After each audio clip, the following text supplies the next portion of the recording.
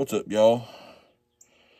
Today on the bench is the Alien Red Max GZ360.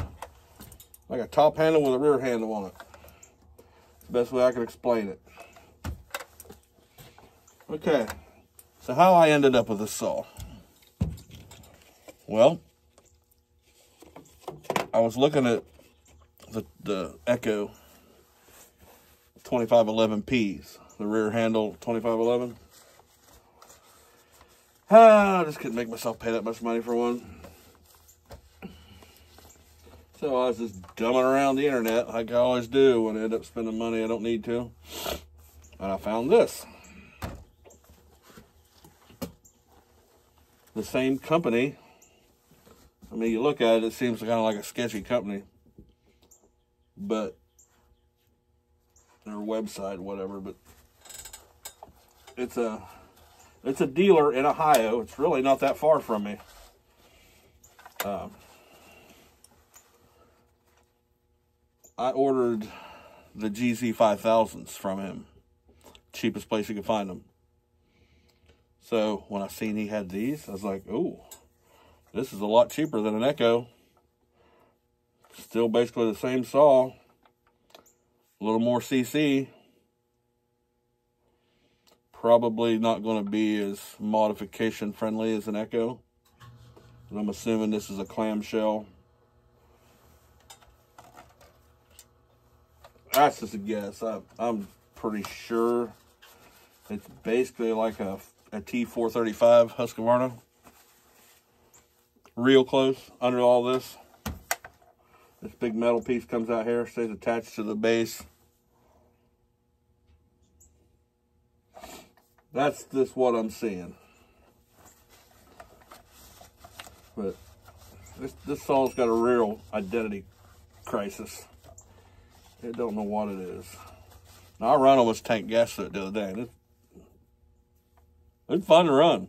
It's got ample power for, you know, cutting little stuff. So it's going to fit the bill just nice, just nicely. And it was 289 to the door. It's got the Husqvarna flip caps. On the side here, it says Red Max made in Japan. Over here, it's got the black Husqvarna style tag. It says Red Max, Husqvarna, Sweden.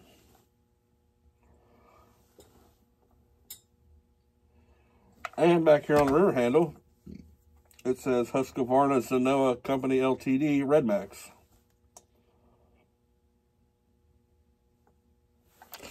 You don't know what in the heck it is. Maybe it's a Zenoah clone, not a Husqvarna. I don't know. Maybe it's Zenoah's on there and the Japan. All I know is it fit the bill for the saw I wanted. And uh, it was a lot cheaper than the Echo. So,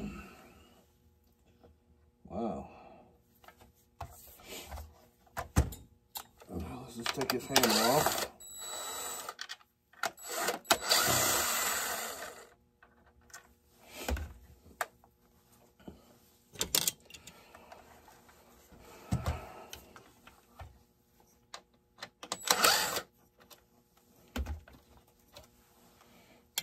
that, I'll release the handle. A spring, spring vibe mounts. Pretty sturdy plastic handle. Perfect for what it is. As of now, this is my saw. I don't know exactly what I'm going to do with it. Yeah, I may sell it.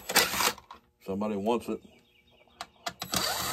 Hell, nobody may ever want it. And I'd be okay with that. But honestly, with all intents and purposes, I bought it for myself.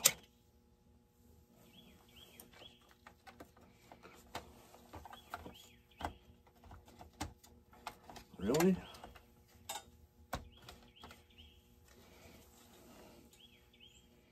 I'm kind of thinking this thing would look good all black.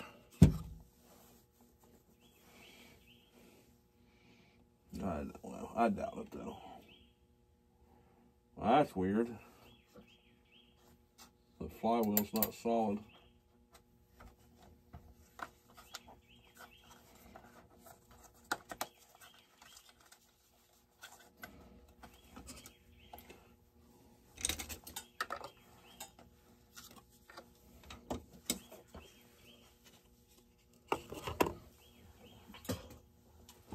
Heck, I may not be able to get this thing back together.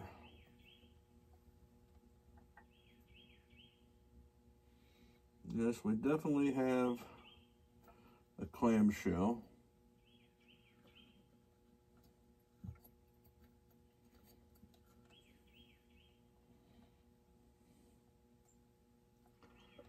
Uh, bolt. That bolt surely gets into the engine.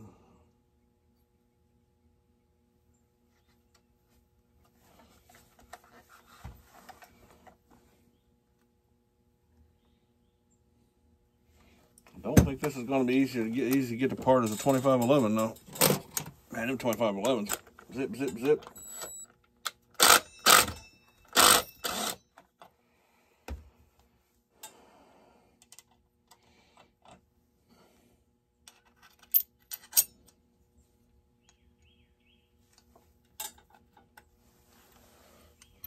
We just gonna take it apart until we figure it out.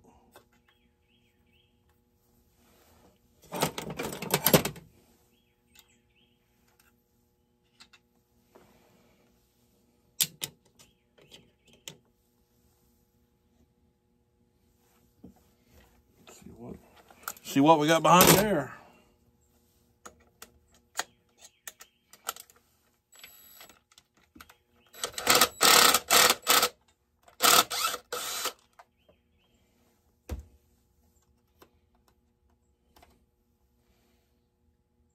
Way better oil pump than I expected.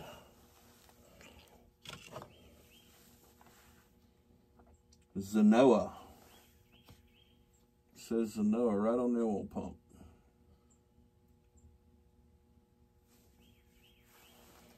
So we got us a Zenoah clone.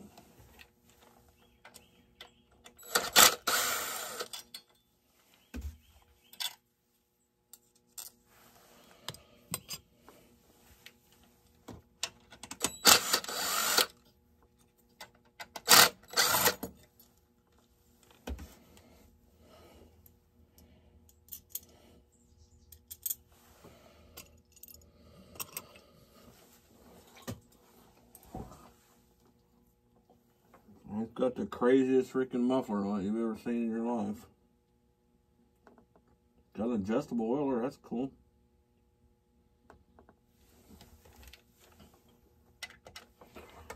Different size.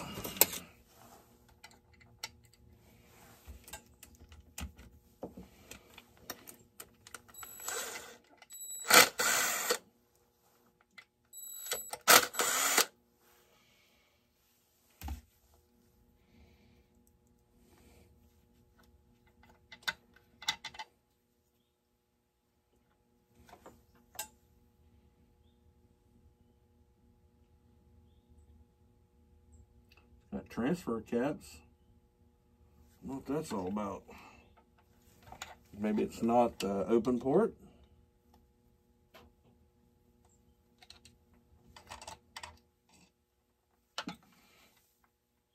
Ah.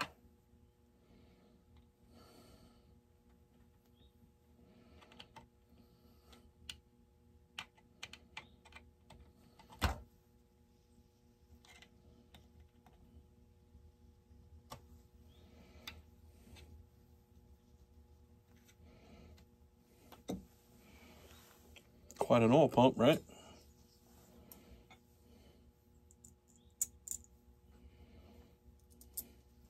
And that pump says Zenoah right on it.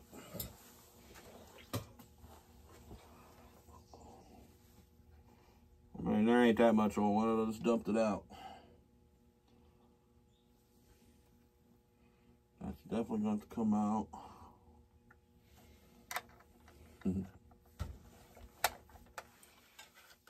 What's going on up, upstairs here. Got the hood.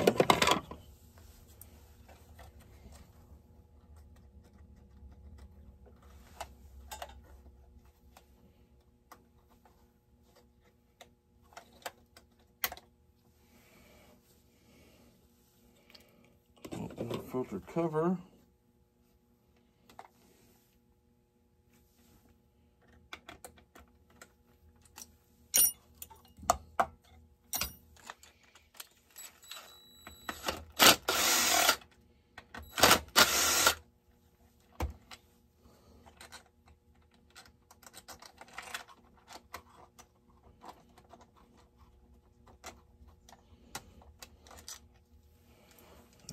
Filter base.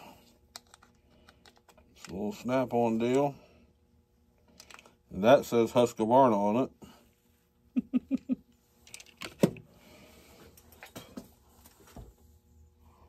Ooh. Oh yeah, this is this is a Strato engine. I forgot about that. This is a Strato.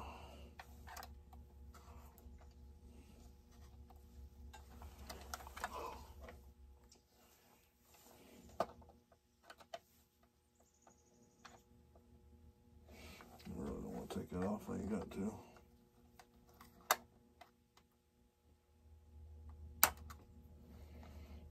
Choke lever.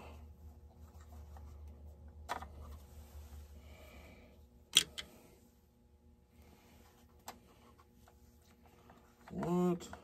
That's got a bolt down there. Get that card bolted down, boy. I'll stick that in my filter.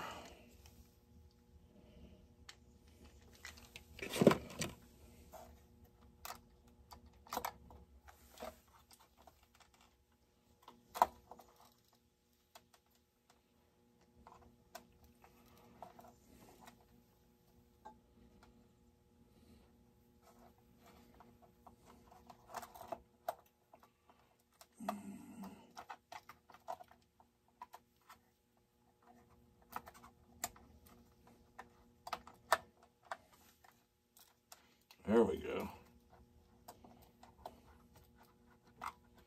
Come on. Come on. There we go.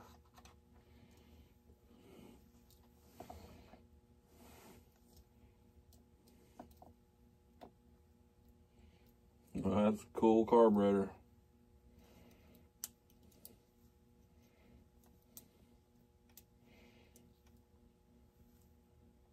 Ha.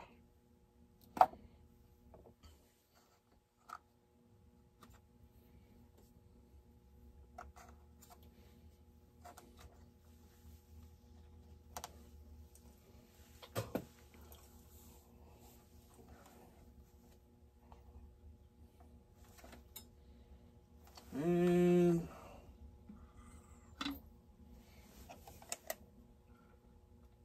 has got one goofy looking intake gun in there.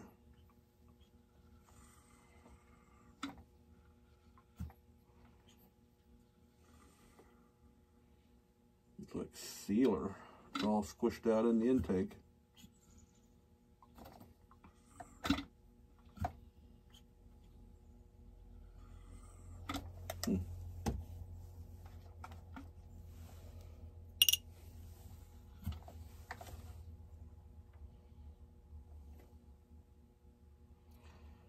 Think I got to take the coil and flywheel off.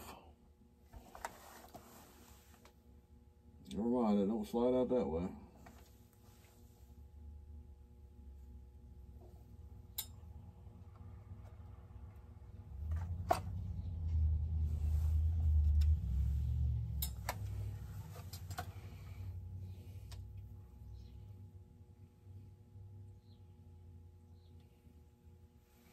And then there's two holes in the bottom there. Go ahead and take his carburetor off.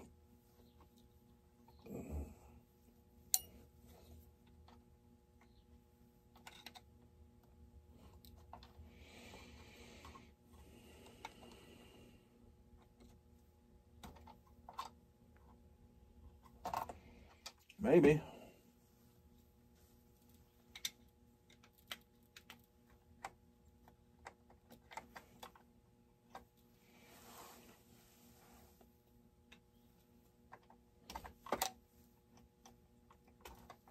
Ah!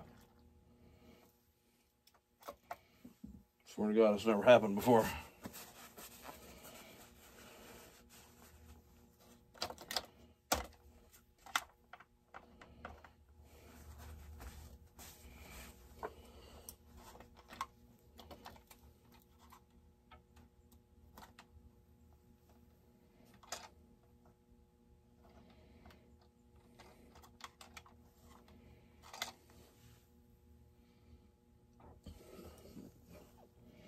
Look how this uh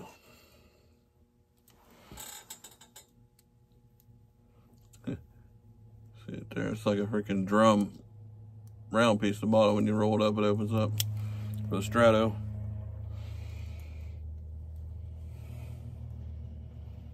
Impulse right off the bottom.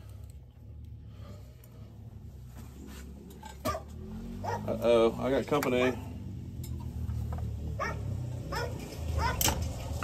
I got company.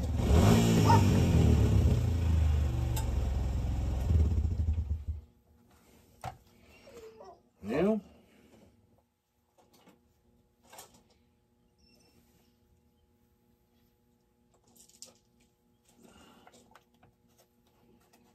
Don't know, maybe this whole side comes off. It does. We need to disassemble this side.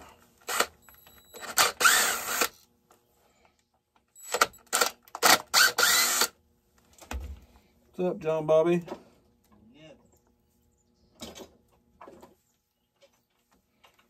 Oop, oop. We got spacers for the coil.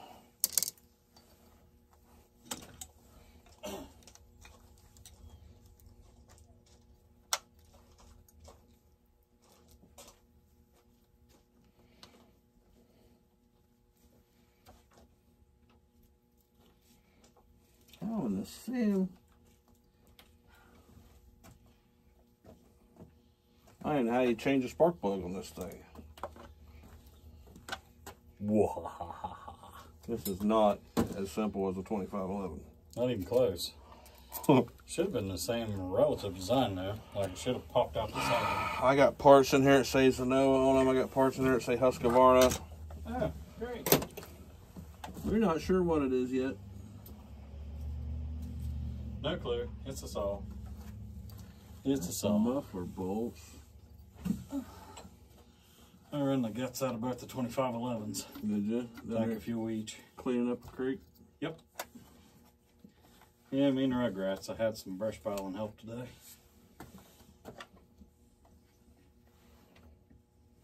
Hmm. That's weird. this thing is weird.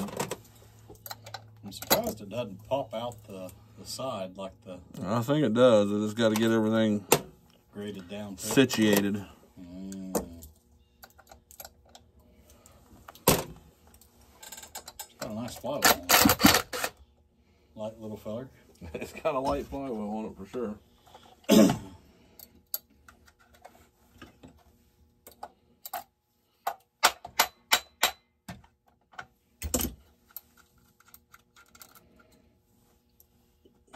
For sure. Hmm. Cast. I've never seen a flywheel like that. Uh, 461 I tore down today. It's got a, Polly? yeah, Yeah. whatever that's worth. Oh. That's unique. I'm about to show you some magic. Maybe. No, I think so. I mean, I've been studying this as I go. It's it's something.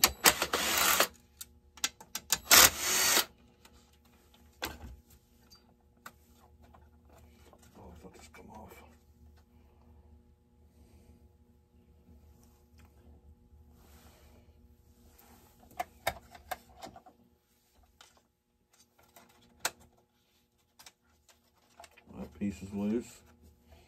Does it come out the top? Doesn't this come off? I thought this whole side come off like that. Wow. Pop the anti-vibe off and the whole top handle ought to come off. That's what it should. That's what I'm looking to do now. What craziness. That's a lot of wonky. Anyway, we're gonna shut this one down. Then we'll think about it later, y'all.